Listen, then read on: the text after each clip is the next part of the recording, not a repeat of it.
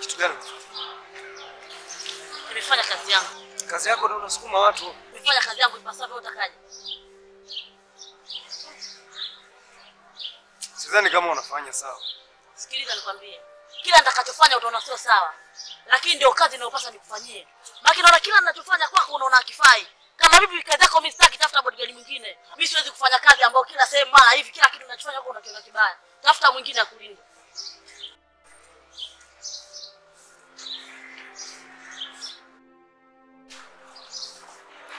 Bana poa bana.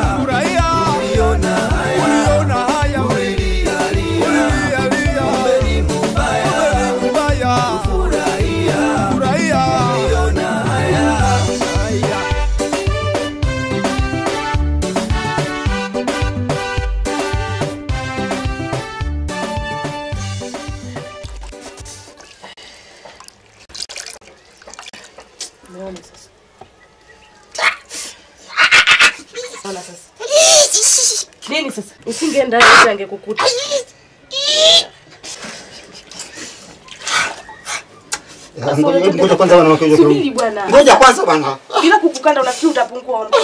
Hebu tulia bwana.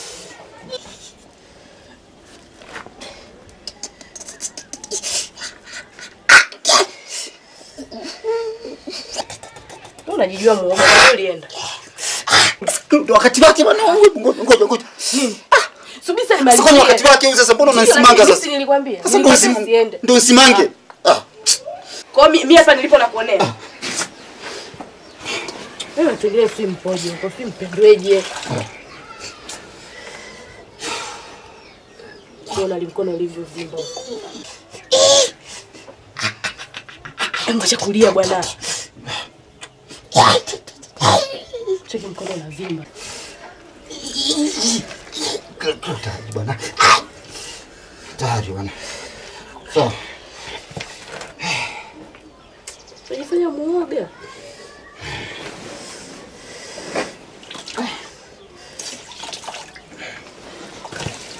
Tayari sasa. Unaendelea. Mimi niko ndani. Sawa. Utoroke tena. eh?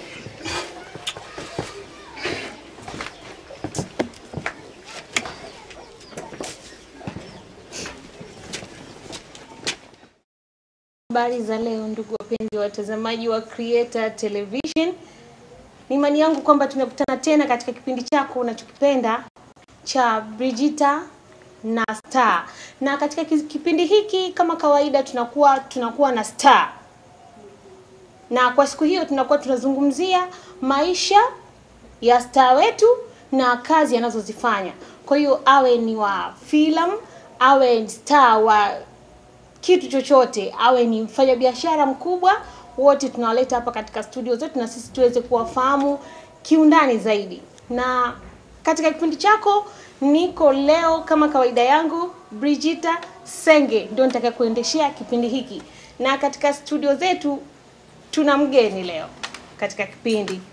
Nafikiri nilipata messages nyingi sana wakiniomba kwamba niweze kumleta katika kipindi changu, na leo nafikiri nimefanikisha. Tunaye mwenyewe, atajitambulisha ni nani. Karibu. Asante bana. Kwa wanaonifahamu ni 20%. Kwa wasiofahamu kiundani, mimi ni Abasi Kinzasa, kwa sababu 20% ni jina la muziki. Kwa hiyo leo tuko pamoja katika kipindi hichi cha Brigita na Star. Star, yeah. Kwa hiyo karibuni sana. Na kuhusu kuanza mziki, nimeanza mziki kipindi cha muda mrefu sana, na waliosababisha niwe mwanamziki ni wale watu walikuwa wanaona kipaji changu, wakasema kwamba maybe unaweza. Kwa hiyo nikajaribu, na kweli mpaka leo hii nimepewa support kubwa na niko kama mwanamuziki. Okay, sasa hapo itakuwa mashabiki wako nafikiri wangependa pia kufahamu labda ni nani hasa aliyekuwa labda akikuvuta huku kwenye mziki, kwa sababu kutoka kule mpaka kuja kusimama na watu wakakukubali na unakubalika sana, na si hapa tu Tanzania, nafikiri Afrika Mashariki na nje pia. Labda ni nani ambaye aliweza kukuvuta huku kwenye mziki hasa? E, mwanzoni nilikuwa sina kampani kubwa kama sasa, na mwanzoni nilikuwa sina mshauri kama sasa, lakini mwanzoni kulikuwa na wengi ambao walikuwa wana, wa- wanaweza wakanikwamisha, isipokuwa kulikuwa na wachache ambao ndio walikuwa wanaona kipaji changu na kuona kwamba maybe hichi ni kitu cha kawaida, japo kwa watu wengine ilikuwa ni uhuni, kwa sababu muziki mimi nilikuwa naufanyia kijijini, yani sehemu ambayo ni kijiji. Kwa hiyo kutoka kijijini mpaka mziki wako ukutoe huko uliko mpaka ufike sehemu nyingine na nyingine uweze kuwa mtu wa kimataifa, sio kazi ndogo. Kwa hiyo okay. naweza nikasema nilianza kushauriwa na watu wangu wa karibu. Kulikuwa na mtu anaitwa Seleki Edu, huyo alikuwa anawahi kuona kwamba mimi naandika nyimbo za watu na naziclaim na nakuimba kama wanavyoimba wao, na sometime natoa mapungufu yao na makosa yao, nasema ah, ni kweli, kwa sababu ilikuwa inafikia kipindi tunaweka kipi, tunasikiliza kipindi cha radio cha Bongo Flava Ndio. Mwanzo hadi mwisho, lakini mimi naimba wimbo mmoja tu, nasema yani nyimbo zote zilizoimbwa wimbo wimbo wewe ni mkali kuliko zote, japo wa kwako haujarekodiwa. Na labda kwa kipindi hicho labda ulikuwa unapenda kuimba labda kopi ya nani mpaka watu wakawa wamevutika kukwambia kweli 20 unaweza 20 unaweza ilikuwa napenda ku, kuimba kama Bob Marley, nilikuwa napenda kuimba kama watu hapa nyumbani kama Juma Nature, kama Okay. Afande Sele Okay. kwa sababu wao ni watu ambao walinitangulia hatua kadhaa. Ah, na labda unaweza ukakumbuka ilikuwa ni mwaka gani labda Eh, ni miaka ya tisini na ah. Ha, lakini 20 umenafikiri mpaka sasa hivi wewe ni mwanamuziki mkubwa sana katika hii nchi yetu. Hakuna ambaye mtu hakufahamu katika ulimwengu wa muziki.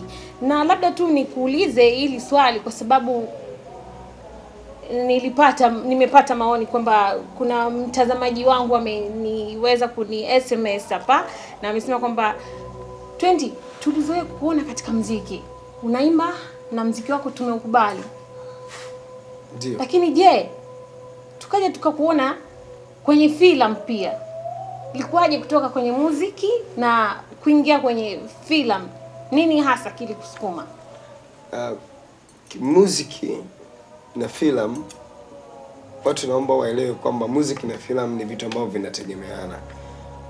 Kwanza, mtu ambaye ni mtunzi, basi huyo ni mtunzi tu, kwa sababu mtunzi wa filamu mm. anao uwezo wa kuandika muziki, isipokuwa mtunzi wa filamu hajari mashairi wala hajari vina, isipokuwa utunzi ni utunzi tu, kama unavyoitunga nyimbo au unavyotunga wimbo ndivyo unavyotunga filamu, na kama unavyoianza safari ndivyo unavyoanza hata kula okay. eh, kwa sababu kuanza safari ni hatua moja, basi hata kula utaanza na tonge la kwanza.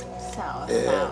Basi mimi na imani kwamba watazamaji wangu wa kipindi cha Bridget na Star Star wetu leo kama mnavyomwona ameshine na huyo ndo 20% kwa wale ambao sidhani kama kuna ambaye kweli hamfahamu 20. Alafu sasa 20 kuna swali 20 katika nyimbo zako ambazo zote umewahi kuimba umeanza kutunga mashairi na kurekodi nyimbo nyingi nafikiri mpaka sasa hivi una nyimbo nyingi sana mm. kuna wimbo mmoja tu ambao labda unaweza ukakumbuka kwamba katika nyimbo zangu zote ambazo nimefanya lakini huu hapa naupenda yaani mwenyewe ukiusikia hapa yani napenda sana eh.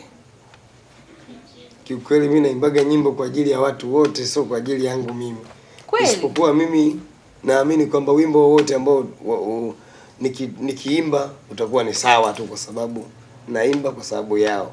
Kila wimbo unamhusu mwingine. Manemane Mane inamhusu huyu, Mama Neema inamhusu huyu, Marumbano inamhusu huyu, Maria Urithi inamhusu huyu, Tamaa Mbaya inamhusu mwingine. yani kwa hiyo okay, hapo nyimbo zangu zote zina uzito mmoja kwa upande wangu, na ndio maana mimi hata katika kutoa nyimbo natoa kwa wakati ambao nataka mimi, kwa sababu kutoa nyingine na nyingine ni kuiua nyingine. sawa Yeah. sawa kuna point imeni- imenishtua kidogo. Kuna nyimbo inaitwa mali ya urithi. Ndio. Hiyo ni mpya? Yeah, ni wimbo ambao unachezwa kwa sasa, lakini ah, okay. ni mpya pengine kwako, kwa sababu hata kidogo. wewe hujaupata kwenye kipindi chako. basi na na labda mimi na watazamaji wengine pia mm. sio mbaya ukawapa, ukawapa kidogo kionjo ili watambue uwepo wako. Pichari inaanza, baba kapata kiwanja, ukaenda kwa waganga ili ashindwe kujenga, ilo Mungu akapinga. Mungu akapinga, akamjalia kujenga, tukasahau kupanga. Kumbe wewe ulipinda, ulipinda, ukawa unamuinda, ah, ukamuinda alipokuwa mgonjwa haukuja kumuona, alipokufa wa kwanza, ama ulikuja kutafuna. Mali za urithi zisifanye utuwe, mali zetu sisi vipi zikufae wewe, ulilialia kumbe ni mubaya safi. Kufurahia. Uliona haya. Haya jamani, mali za urithi hizo sisi tufanye. Tuwale. wewe tenti hapa sheru unatoa wapi? Mbona nyimbo zako zinakuwa yani, unajua nyimbo zako zinagusa sana jamii. E, na mimi niko kwenye jamii na naishi na jamii, kwa hiyo natoa kwenye jamii. Okay, vizuri sana. Basi Brigitte na Star ndio inaelekea ukingoni namna hiyo, na 20 ndio huyo ameshatupa kionjo kidogo. Shukuru, nimshukuru mpiga picha wangu ambaye ndio alikuwa akinifanikishia zoezi langu hili la leo la kufanya kipindi na 20% ambaye ni Dhahir Mayanga. Asante sana, maana wewe umehakikisha mwanzo mpaka mwisho wa kipindi tumekwenda sawa. Tukutane tena katika siku nyingine saa kama kawaida.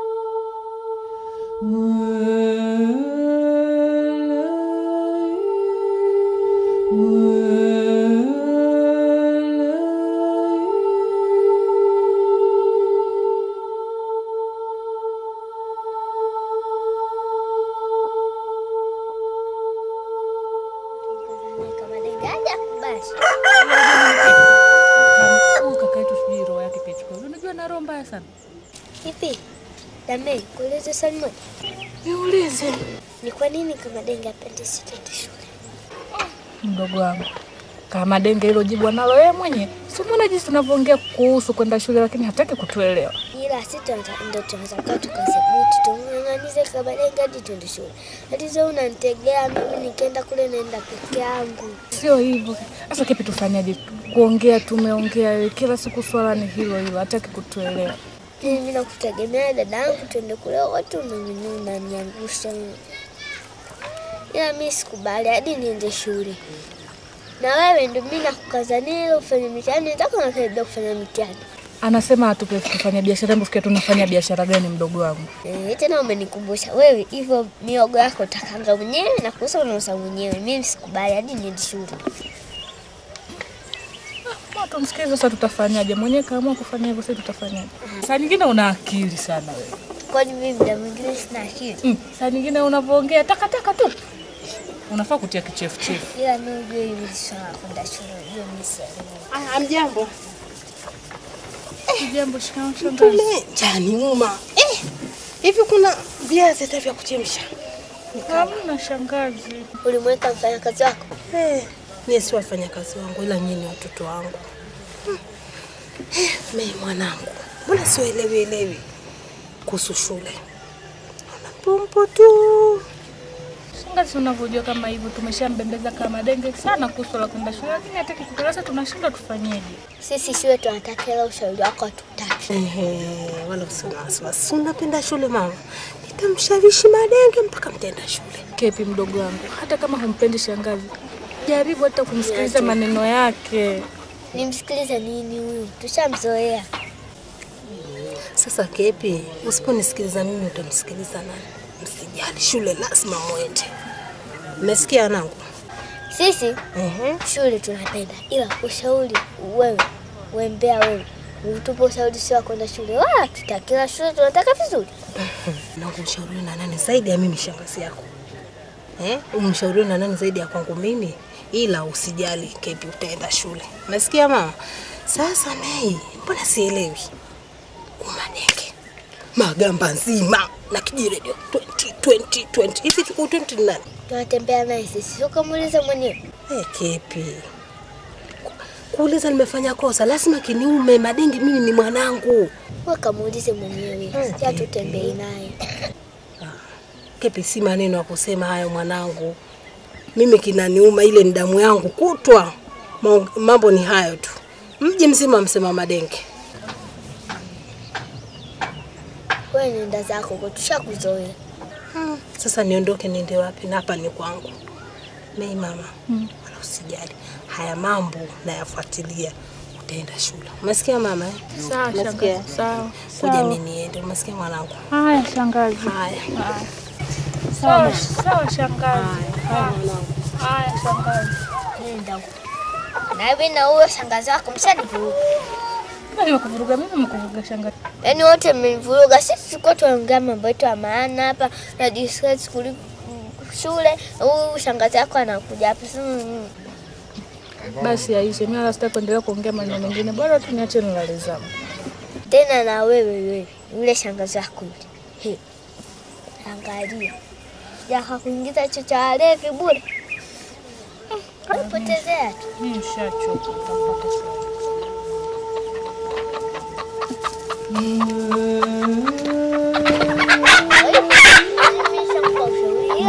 Ukienda kumsikiliza huyo shangazi yako.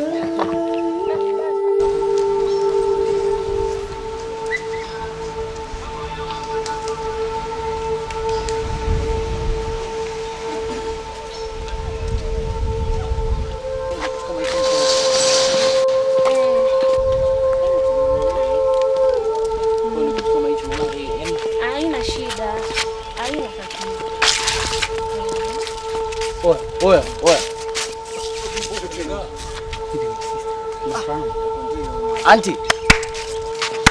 Sister. Sorry. Samani. Habari yako? Nzuri. Auntie kama sijui nakufananisha, sijui ndo wewe. Nifananisha? Eh, Nifananisha na nani jamani? ah, kuna dada mmoja ni mtangazaji, sijui ndo wewe vile. Ndio mimi, Brigitte mnamzungumzia? Yeah, yeah, yeah, Brigitte ndio, Brigitte. Ndio mimi. Jamani, kumbe mnanijua. Yes, tunakujua na tunafuatilia sana yani. Kweli? Yeah. Ah. Kweli. Sasa kama mnafuatilia kipindi changu, Brigitte anatangaza kipindi gani? Ah. Kipindi kimoja hivi kinaitwa Brigita na Na Star. Ndio hicho, mimi mfuatiliaji sana. Sawa, sawa. Free sana. mlisikia show ya 20? Eh, tulisikia kwamba 20% asilimia zote anaangusha bonge moja la show katika kundi gani vile. Ile grand itakasachika. Alafu ni sijui tulisikia sijui ni tarehe sijui 20 sijui. No, tarehe saba ambayo ni kesho. Ah, ni tarehe saba. Yeah. Okay. Si mtakuja lakini? Takuja dadangu. Tutakuja eh? Tutakuja dadangu lakini. Vipi, mbona mnajumauma? Sio unajua tena mfuko ndio Mungu akabaya tena. Ah, kwa sababu mmekutana na Brigitte? Ah, Hapana, sio hivyo. Sio unajua tena maisha. Okay, basi haina shida. Mimi kwa kuwa mmenionyesha kitu fulani cha kunipenda na kufuatilia vipindi vyangu, niwaunge mkono. Naomba kesho mje kwenye ofisi zetu, nitawapa complimentary tickets. Complimentary tena. Eh, nitawapa. Shukrani sana dada. Mwingie bure kabisa kwa ajili yangu. Ah, asante sana. Eh, Fanya hivi kesho saa nne mmoja wenu aje pale ofisi zetu za Creator Television. Tawapatia ticket.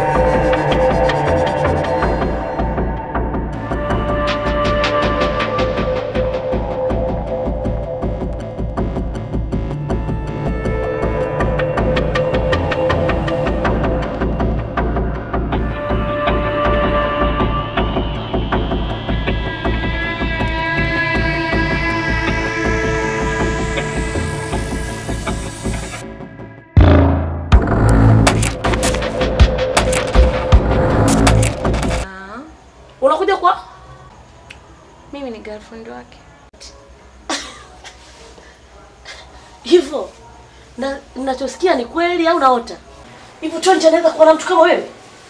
Hebu hebu jiangalie kwanza, unaweza kuwa na mtu kama Twenty wewe? Dada, hebu umetoka huko. Wewe umekaa kwenye kioo lisaa nzima. Naenda kwa upendo wangu Twenty. Mlango unajua unaujua? Na wewe nakwambia usinivuruge. Wewe unifahamu mimi. Na mimi wala sikufahamu. Na sina shida kukufahamu kufahamu mtu kama wewe. Sasa mimi ujio wa- wangu hapa kwenye hii nyumba, si kila mtu afahamu kama mimi nakuja hapa. Ni muda wote, saa yote. Nimekwambia mimi 20 ni boyfriend wangu. Nime. Nataka kwenda ndani kuonana naye, na pia hapo tuambishana kama dakika mbili tu. Mimi niko nyuma, yeye anaingia ndani, namuona. Nisikilize. Umemwona? Ukumuona, haijalishi. Njia unakuja unajua? Mlango unajua unajua? wewe dada, una matatizo.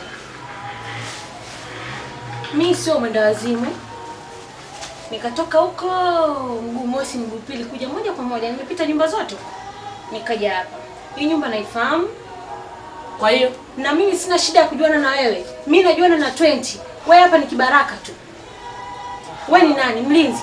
mimi ni mlinzi ya. na hii ndio kazi yangu. Sasa wewe hamna kuingia kwa 20 uwe mguu mosi, mguu pili, mguu 12 utajua nimekwambia toka. Hivi anti, samani. Wewe ni mwanamke wake 20 au? Niangalie hii sura. Hii sura sio ya mapenzi, hii sura ni ya kazi. Sasa utanika hebu subiri, subiri, hebu subiri. Subiri, subiri kwanza. Subiri, subiri, subiri kwanza. Nikusubiri nini? Subiri nikwambie. Mimi sina kichaa. Nimepita nyumba zote nimekuja kuingia hapa. Pana niusu. Ndio maana. Sasa unajifanya askari sana, sijui mlinzi, sijui vitu gani. Wewe ndio usinifahamu mimi. Kama una wewe askari kweli, nenda kapambana na Alshababi huko, sio mimi, sawa? Chaslan. ¡Mami! ¡Ah! ¡Ah! ¡No, tranquilo, tranquilo, enano! ¡Tranquilo! ¡Sí!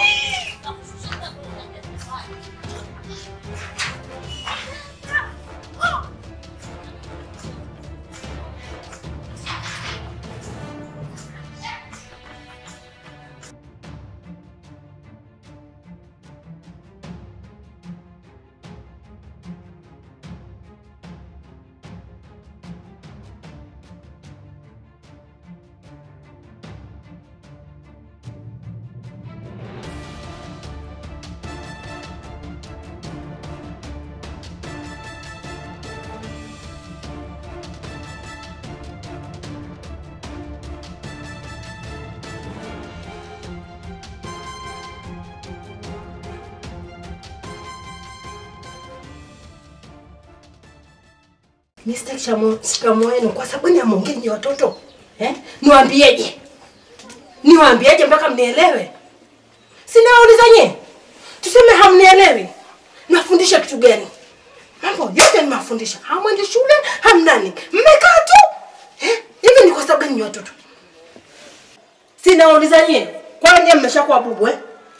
Au mmeshafundishwa ujeuri na huo na madenge? Mazali leo ningemkuta huyo kaka yenu, angenijua mimi ni nani, ningemwonyesha. Eh, Yaani kimya kimya. Eh, eh, Huyu huyu ndo anawafundisha ujeuri. Mmenyamaza kinda kwa ajili ya ukinyago. Shikamoo mwenyewe. Wewe ndio unafanya nyumba yangu pia ina jeuri wewe. Wewe ndio wewe ndio unaisababisha hii nyumba mpaka tusambaratike. Mtoto mbaya wewe. Mtoto sikupendi wewe. Haya. Baza ungeniingia kwenye moyo wangu. Hmm. Sitaki hata kukuona. Ni hiyo basi tu nifanyeje? Eh. Mmenisikia nilichoambia? Mmenielewa? Vile vile tunaendelea. Mmenielewa nangu? Umenielewa? Endelea kuongea shangazi. Maraba baba. Endelea kuongea. Maraba mwanangu. Kwa shangazi unatafuta nini? Hamna neno maraba. Unatafuta kitu gani wewe kisha kazi?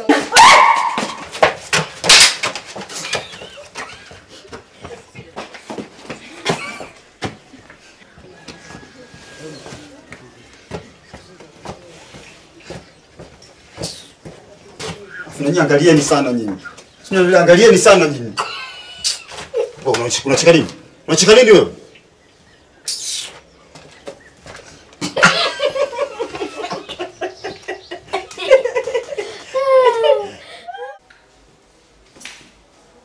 Wow, baby. Nini? Kuna Nini? tatizo. Amekuruhusu nani kupita huko? Nani alikuwa kunizuia kuingia hapa? Twende.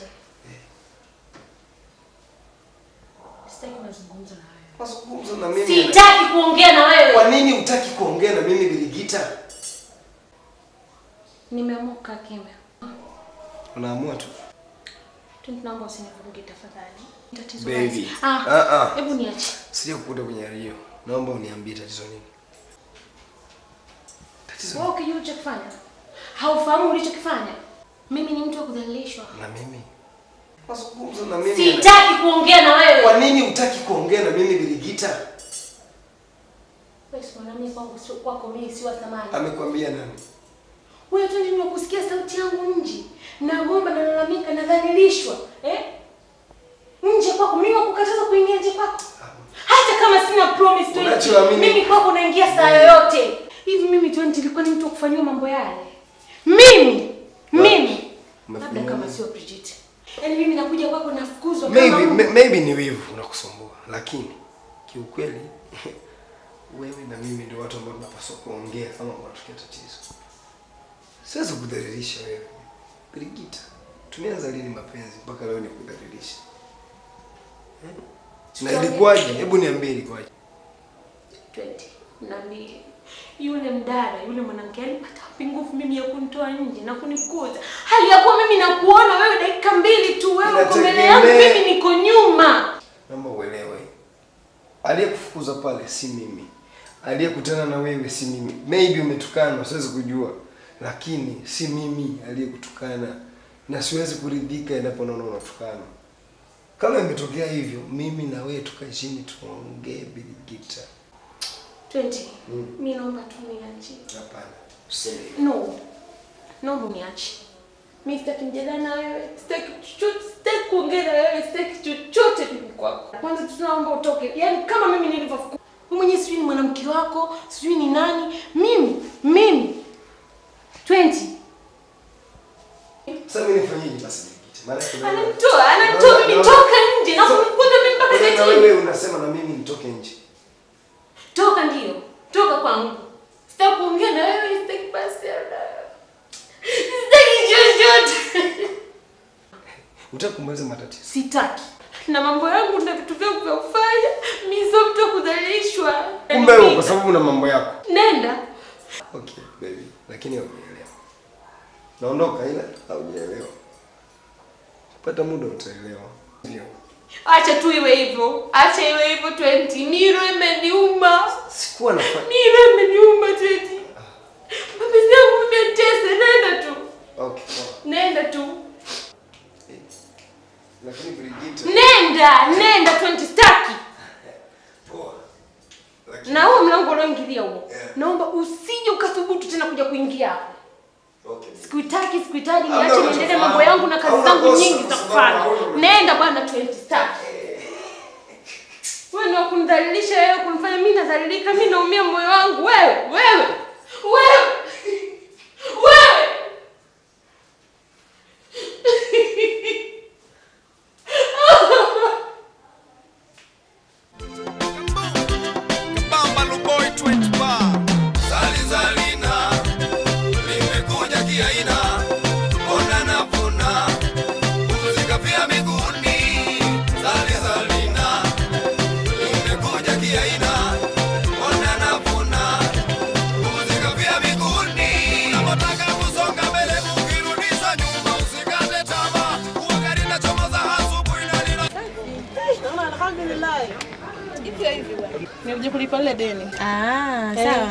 Shilingi ngapi vile?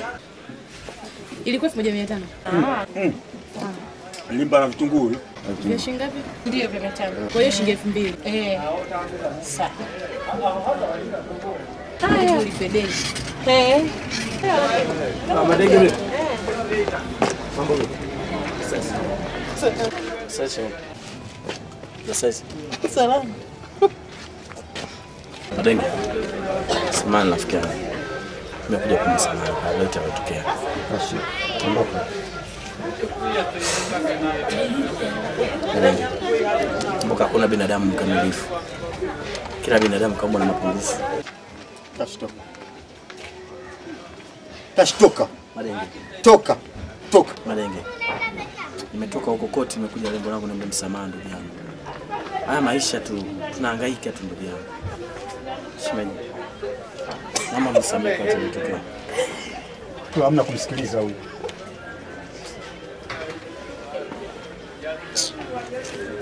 Madenge. Nasema toka Tash. Wewe kinachokuchekesha nini? Ujue dada mnafiki. Wewe nuksi sana unajua. Utaniletea balaa ujue. Tajiri la kijiji leo jambo msamaha. Amako ni shetani akizeka Wewe kwa unachokitafuta malaika. utakipata kwangu. Wewe unachokitafuta utakipata. Sasa mimi natafuta nini? Nenda nuksi wewe. Sio matatizo wewe. Ah, Shetani akizeka ugeuka malaika.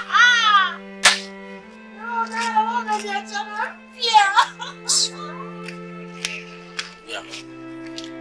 Ama shetani. tu. nafahamu nimekukosea. Shamaliza Shamaliza. Shamaliza. Tuachane na hayo mapana. Toka. Toka. Shamaliza toka. Lakini hata siku ile unajua kabisa kwamba alishinikiza mimi na yeye ni shakazi yako. Nilikuwa nakataa kuzungumza mimi. Kwa sababu kwa anashinikiza shangazi yako ndai pesa. Wewe hauna akili. Unaona sana nimetoka nyumbani nimekuja kuomba msamaha kwako. Ni jinsi gani nafsi yangu imeniuma. Ni jinsi gani nimeumia ndani ya moyo wangu. Nifikiria tulikotoka Madege. Tumefanya mambo mangapi Madege ndugu yangu? Sihitaji msamaha wako. Watu wote hapa natizama mimi. Nani ameleza watu. Furaha yako iko wapi? Unafurahi nini? Kuwa na mama. Kesho ndo Unakuwa unakuwa na mama. Hakuzi yako inakuuma. Kwani nimekukosea? Nakuomba wale please, tafuta. Kesho. Angalia watu watazama Madege. Unanielewa lakini? Unanielewa unachoongea? Ah. bwana, najua mapungufu yangu na ndio maana nilikosa baba. Sasa nakulilia mbele yako, nakupiga magoti. Madege.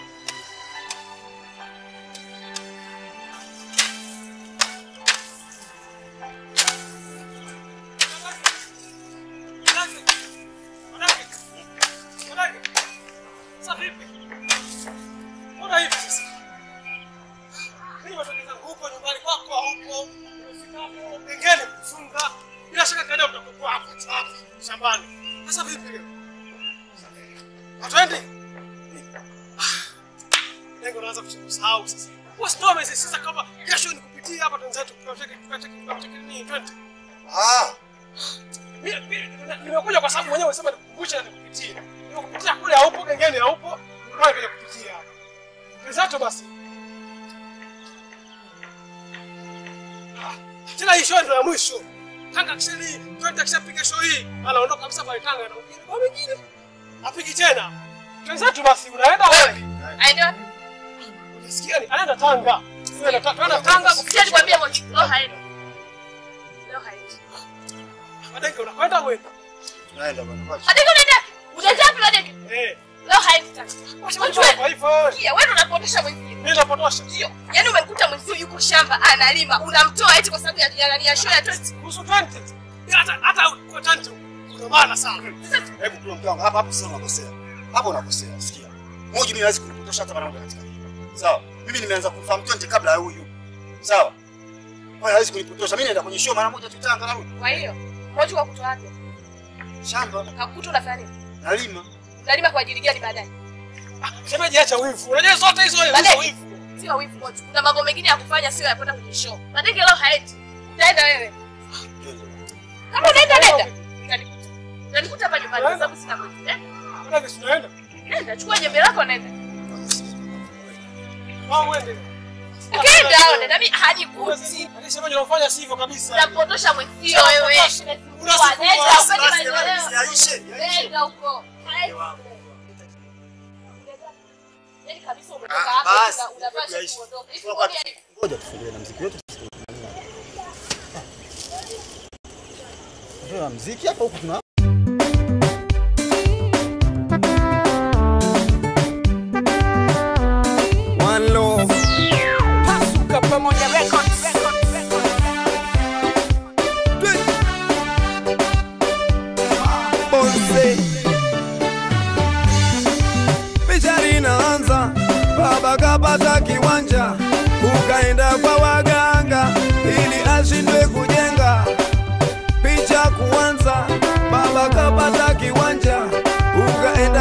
waganga ili ashindwe kujenga. Hilo Mungu akapinga, akapinga, akamjalia kujenga, tukasahau kupanga. Kumbe wewe ulipinda, ulipinda, ukawa unamuwinda, ukamuwinda alipokuwa mgonjwa au kuja kumuona. Wivu lazima masiara. Sasa wivu na nini? Ah, mpenzi wangu lakini kwamba nakupenda. Eh, of course hata mimi. Kupenda wivu lazima. Na isitoshi pia unajua mimi kwamba nikija kwako nakuja mara mbili. Ndio. Nakuja kwa ajili ya kazi yangu kama mwandishi wa habari Yeah. na pia nakuja kama mpenzi wangu. Yeah. Nakwenda kwa mpenzi wangu na hapo hapo likitokea tukio napiga gazi. Sasa umekuja katika pointi yangu. Nikuulize. Niulize. Hivi huyu unafikiri yeye haelewi kwamba mwandishi wa habari anaruhusiwa kuingia katika kila sehemu ambayo kunaweza kukawa na habari?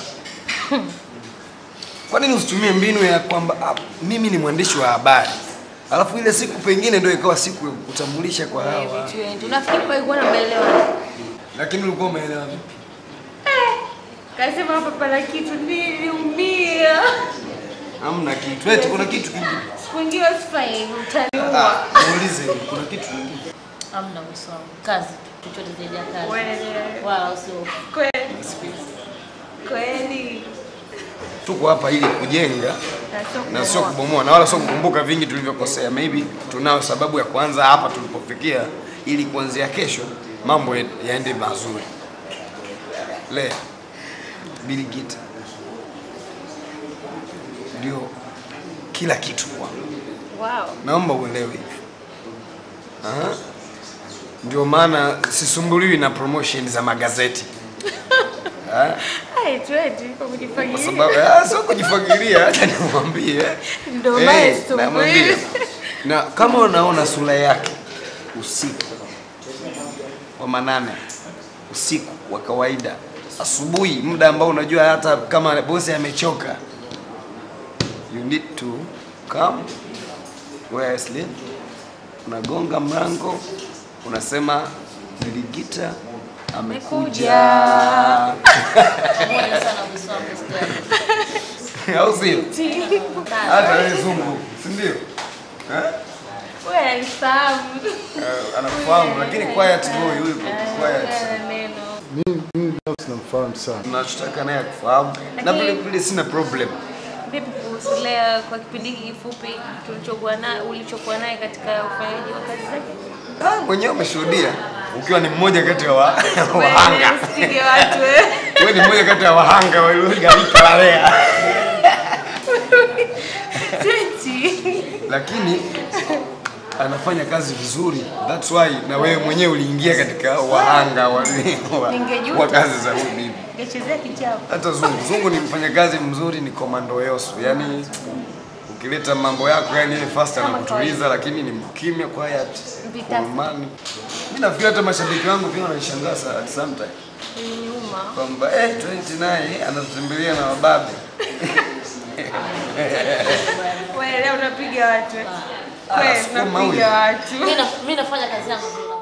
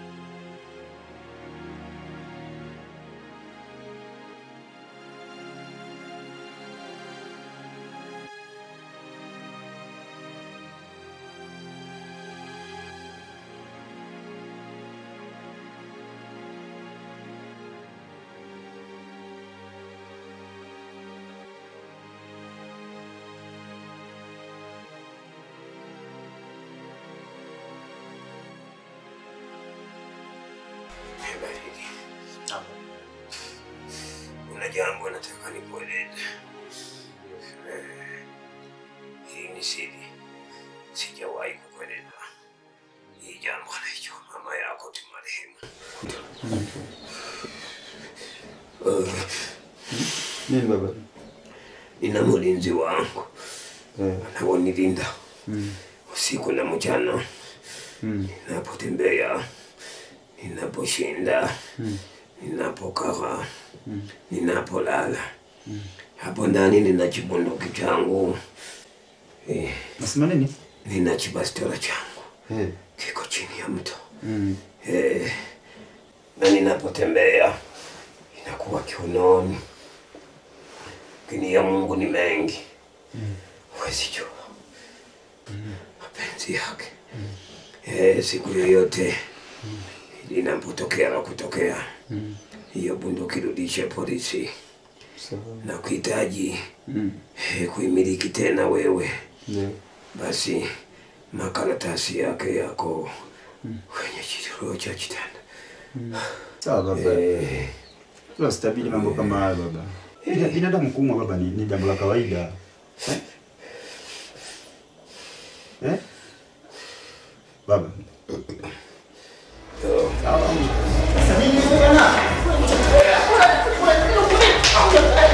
Sikia,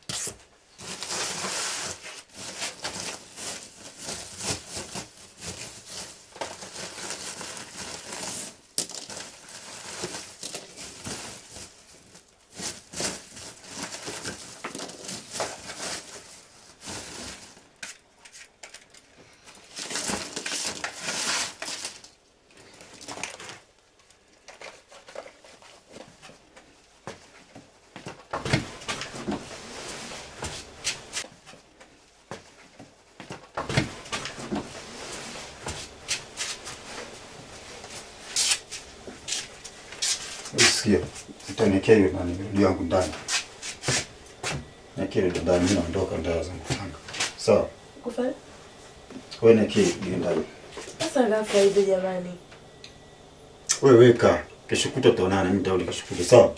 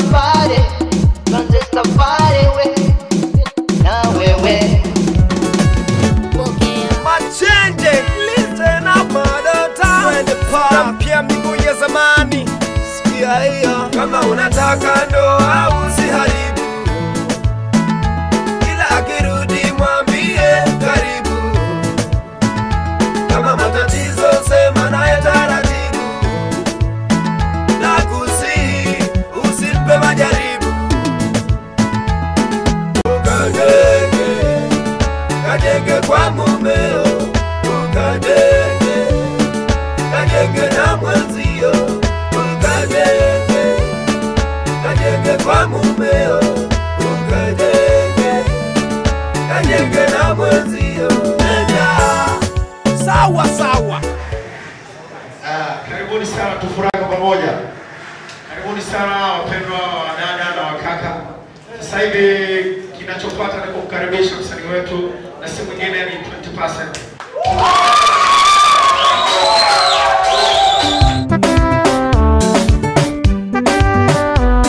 One love. Pasuka pamoja records.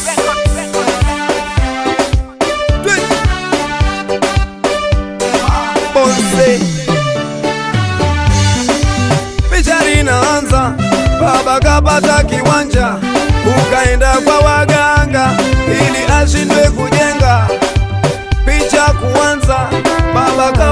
kiwanja, ukaenda kwa waganga. Ili ashindwe kujenga. Hilo Mungu akapinga, akapinga, akamjalia kujenga, tukasahau kupanga. Kumbe wewe ulipinda, ulipinda, ukawa unamuwinda, ukamuwinda. Alipokuwa mgonjwa au kuja kumuona alipokufa wa kwanza, ama ulikuja kutafuna. Maridha urithi zisifanye utuue mali zetu sisi vipi zikufae wewe? Ulilialia ulilia. Umeni mubaya mbaya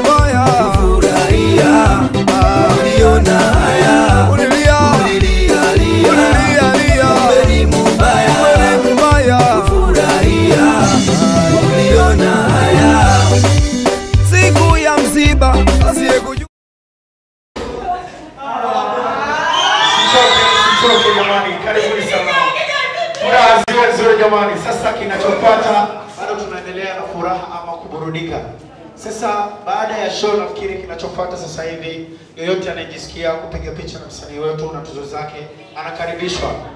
Jamani, hii ni fursa kwa kila mmoja anayejisikia kupiga picha na msanii wetu.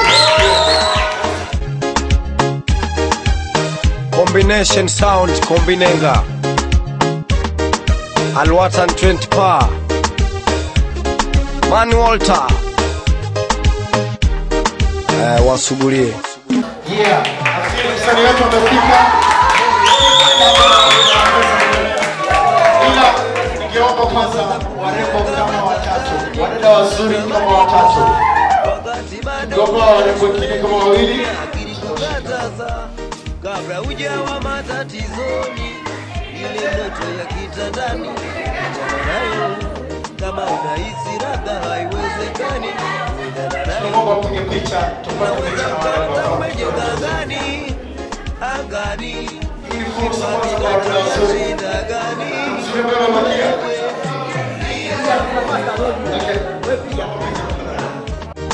Kubali mapungufu yako, rahisisha mahitaji yako,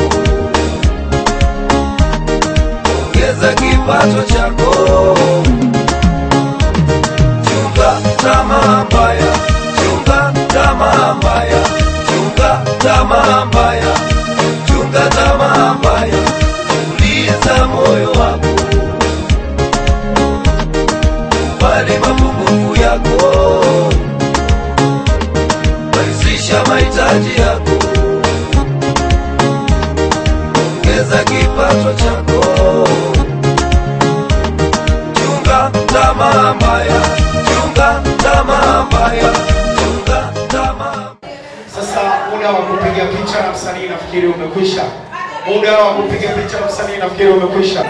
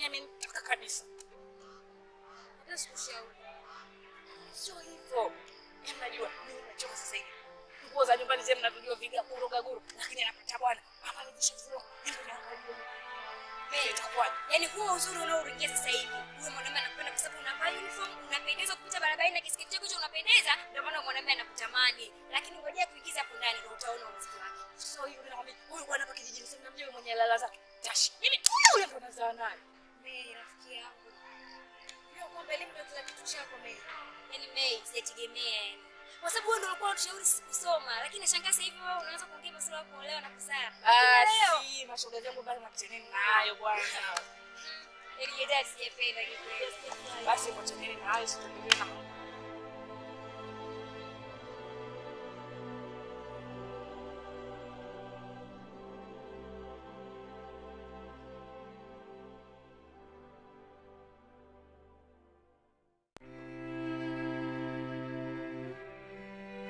Asuma schema di bali nusu ya vaso ndio na chiki você na sijapesi joke. estou com kwa kwa ndio tufungue bali kiumo. amigos, yo te hago un bad girl. Nadie me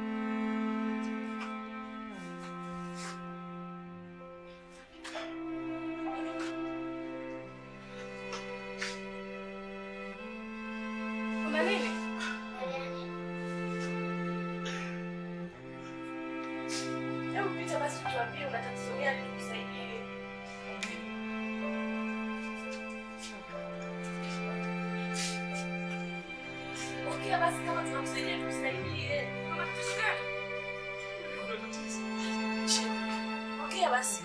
Tatizo mko tayari?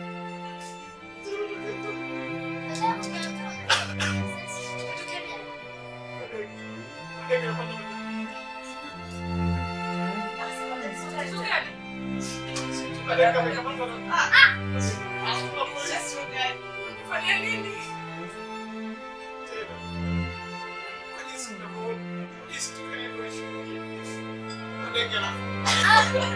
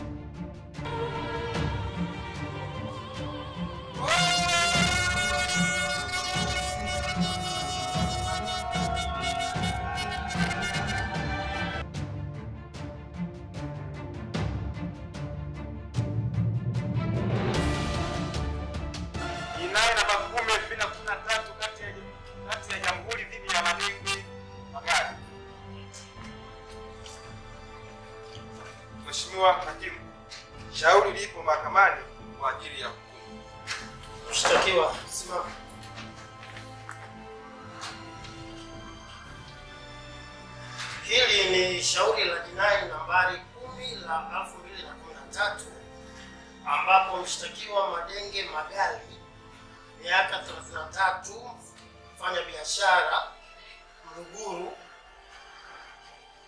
anashtakiwa kwa kosa la kujeruhi kwa risasi kinyume cha kifungu 241 sehemu ndogo a kanuni ya adhabu sura ya 16 iliyofanyiwa marekebisho mwaka 2002. Mshtakiwa aliposomewa shtaka lake hapa mahakamani alikana kwamba hakutenda kosa hilo. Maelezo ya kosa ni kwamba Madenge Magali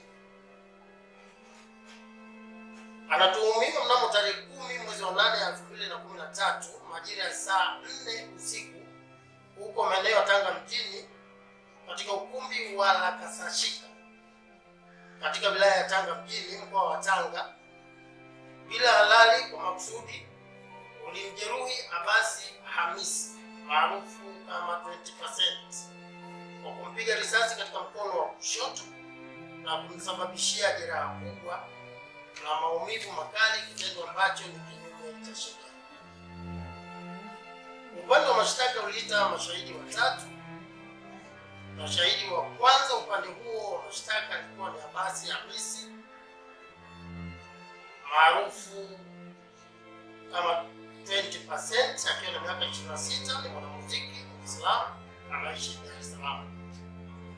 Baada ya kuapishwa, alisema yeye katika tarehe kumi mwezi wa nane elfu mbili na kumi na tatu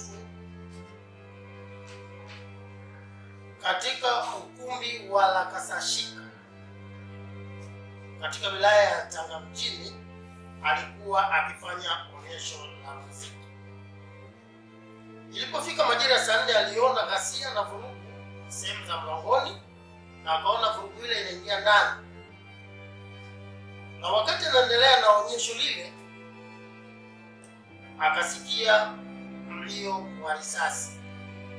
Ghafla alianguka chini na kujua kitu gani kinaendelea. Baadaye alikuja kujishtukia hospitalini amelazwa. Alipokuwa akijibu hoja za mahakama, yeye alisema kwamba amemwona mshtakiwa hapa ndani, wala hawajaonana mahali pengine popote, na alizidi kusema kwamba hana uhakika wowote kama mshtakiwa huyu ndiye aliyempiga risasi au la. Huo ndio ulikuwa mwisho wa ushahidi. Shahidi wa pili ni daktari Mayanga Dhahiri ambaye ana miaka 26, Mkogoro, anaishi Tanga mjini. Yeye ni daktari katika hospitali ya mkoa Bomba. Baada ya kuapishwa, alisema yeye anakumbuka mnamo tarehe kumi mwezi wa nane elfu mbili na kumi na tatu akiwa zamu katika hospitali hiyo majira ya saa sita usiku alimpokea mgonjwa itwaye Abasi Hamisi maarufu kama 20%, akamfanyia uchunguzi wa kidaktari katika jeraha lake na kugundua kuwa alikuwa amejeruhiwa kwa kupigwa risasi katika mkono wake wa kushoto. Alimtibu kwa kutoa risasi iliyokuwepo ndani ya mkono wake na kumsafisha kidonda na kumpa dawa za kupunguza maumivu, na baada ya hapo walimlaza hospitalini pale kwa muda wa siku mbili. Hatimaye alijaza PF3 ambayo alijitambua hapa mahakamani, alitolewa hapa mahakamani na kupokelewa na mahakama hii kama kielelezo exhibit P1. Shahidi wa tatu upande wa mashtaka. Alikuwa ni Koplo Juma Ali ambaye ana miaka 25, ni Mdigo, askari polisi Muislamu, na baada ya kuthibitishwa na yeye alisema tarehe kumi mwezi wa nane elfu mbili na kumi na tatu majira ya saa nne dakika kumi usiku akiwa doria na askari wenzake wawili maeneo ya Tanga katika ukumbi wa disco uitwao la Kasachika alisikia mlio wa risasi ukitokea ndani ya jengo hilo, na ndipo alipofika pale mara moja na kukuta kwamba kumetokea tukio, mshtakiwa akiwa ameshika bastola yake yenye namba A kumi ishirini na wakati huu huwa basi Hamisi akiwa na garagara chini. Walimkamata mshtakiwa ambaye ni Madenge Magali na hatimaye walimpeleka ya Hamisi hospitalini ambapo alilazwa. Huo ndio ulikuwa mwisho wa ushahidi. Madenge Magali, miaka 33, Mkristo, mfanyabiashara ambaye anaishi Magamba Kushoto. Baada ya kuapishwa, alisema ilikuwa tarehe kumi mwezi wa nane elfu mbili na kumi na tatu huko Tanga mjini katika ukumbi wa Nakasashika majira kwa upande wa mashtaka. Mahakama ilimwona mshtakiwa anayo kesi ya kujibu na ilimtaka alete mashahidi wake katika utetezi wake.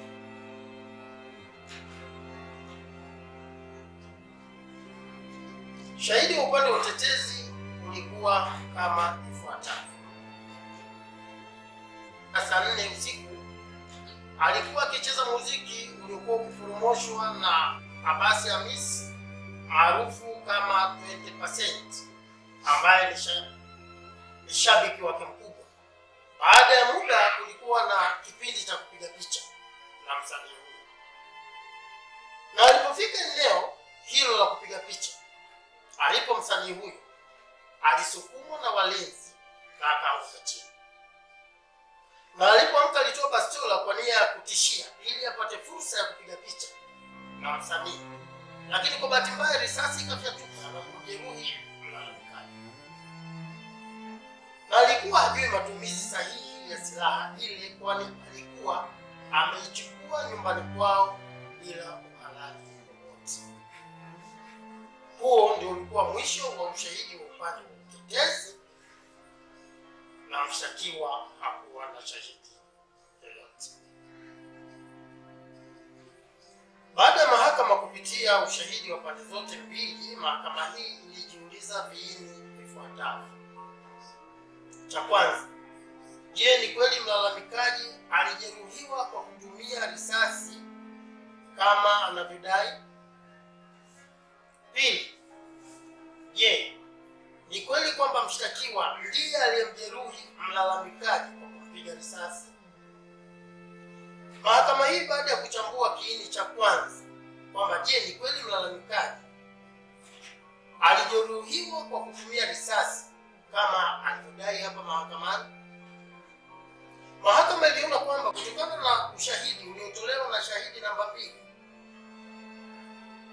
upande wa mashtaka ambaye alikuwa ni daktari alithibitisha mahakamani hapa kwamba mlalamikaji alijeruhiwa kwenye mkono wa kushoto kwa kutumia bastola na baadaye yeye daktari alijaza PF3 ambayo ilipokelewa hapa mahakamani kama kielelezo. Kutokana na maelezo haya, imethibitika pasipo shaka kwamba mlalamikaji alijeruhiwa kwa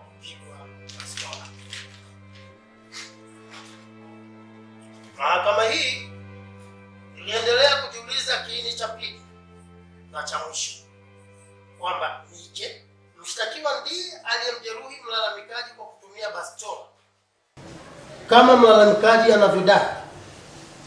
Mahakama hii kutokana na ushahidi wa shahidi namba tatu kwa upande wa mashtaka aliithibitishia mahakama hii kwamba alimkuta mshtakiwa akiwa ameshika bastola. Vile vile kutokana na utetezi wake mwenyewe mshtakiwa alikiri mbele ya mahakama hii kwamba alitishia watu kwa bastola na kwa bahati mbaya ilifyatuka. Hii inaonyesha wazi kwamba ni yeye aliyemjeruhi mlalamikaji kwa kutumia bastola. Hivyo basi, mahakama hii inamtia mshtakiwa hatiani kwa kosa aliloshtakiwa nalo. Kuendesha mashtaka, makosa ya zamani.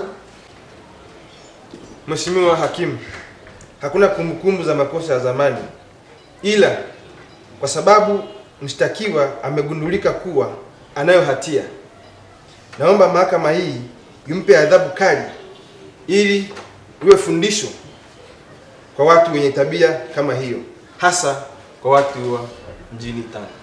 Asante mheshimiwa.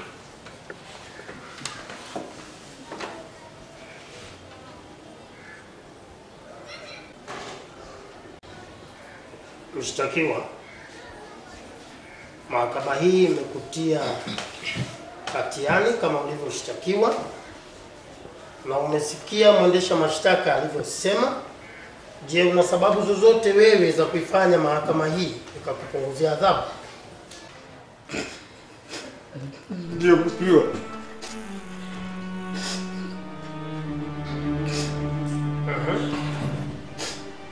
Na najua sitoleweka na jamii kwa kwa hichi kitendo nilichokifanya,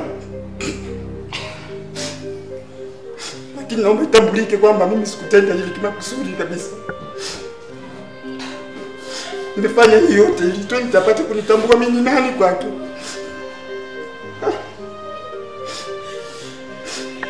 Mke wangu Cleo, naomba nikusanyie kanda zangu zote zile. Ah, za zamani za 20 naomba tena ile redio yangu ili iwe namsikiliza. Takapokuwa magereza kule. Kwa 20%. Kwanza naomba unisamehe sana kwa niliyokutendea, lakini sikutendea kimakusudi rafiki yangu. Mimi naomba utambue, mimi ni shabiki wako mkubwa sana, mimi ni shabiki wako mkubwa sana. Na naomba utakapotoa nyimbo yote mpya unikumbuke, Twenty, sadaka wako. Nilifanya hili, ni lazima unitambue. Naamini sasa umenitambua Twenty, mimi nani kwako. Asante mheshimiwa. Mahakama inaona kwamba imezingatia utetezi wa mshtakiwa wa kupunguza adhabu, lakini kosa lililofanya mshtakiwa ni kubwa na lingeweza kuleta maafa makubwa. Kwa maneno ambayo amemwambia 20%, hayo ni yeye na 20%, wala hayaingiliani na mahakama hii. Mshtakiwa nimemwona kwamba hakuwa mwangalifu na silaha aliyokuwa nayo. Vile vile silaha alichukua kinyemela nyumbani kwao bila kibali chochote na kuonyesha dalili zozote za ukomavu wa umilikaji wa silaha hiyo. Aliona amebeba kalamu na sio bastola. Natoa adhabu ifuatayo ili iwe fundisho kwa wengine wote wenye tabia ya kutojali kama mshtakiwa. Adhabu na kuhukumu kutumikia kifungo cha miaka mitatu gerezani kutokana na kifungu cha sheria namba 241 sura ya 16 kanuni ya adhabu kama ilivyofanyiwa marekebisho mwaka 2002. Amri silaha ya mshtakiwa kielelezo P1 ihojiwe na serikali. Haki ya rufaa ni ndani ya siku 43 mahakama kuu ya Tanzania.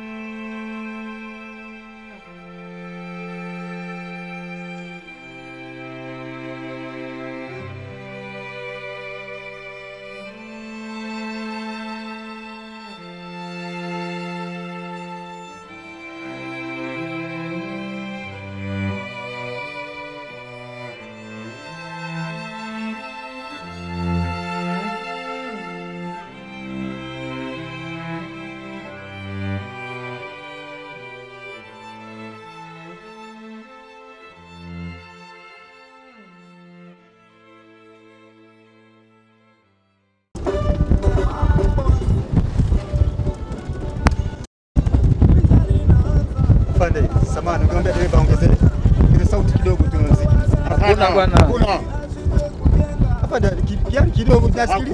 bwana. Unafunguliwa mziki kama nani? Unafunguliwa muziki wa nini? Wakati wewe tayari ni mtuhumiwa. Wewe nenda ukaozee jela huko. Wewe tulikutuma sisi.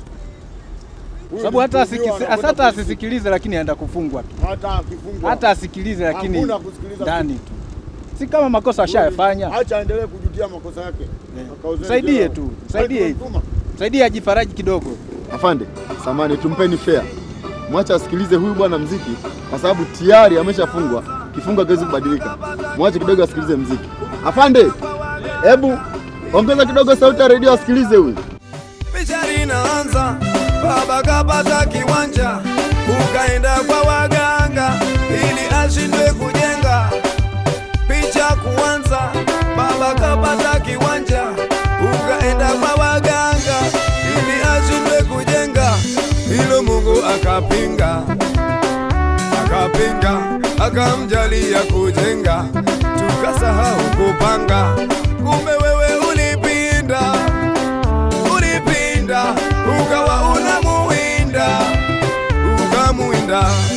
Alipokuwa mgonjwa au kuja kumuona. Alipokufa wa kwanza ama ulikuja kutafuna.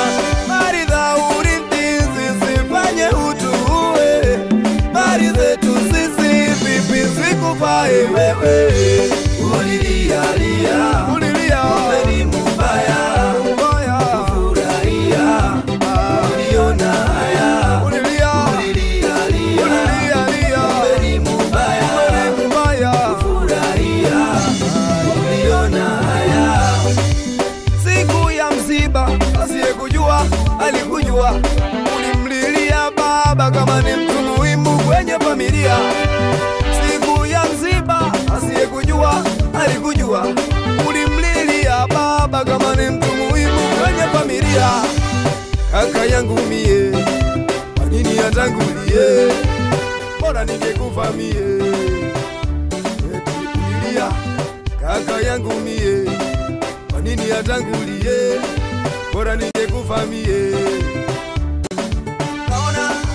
kaniachia watoto wadogo. Kama sio yule wa enzi zile uliyeleta zogo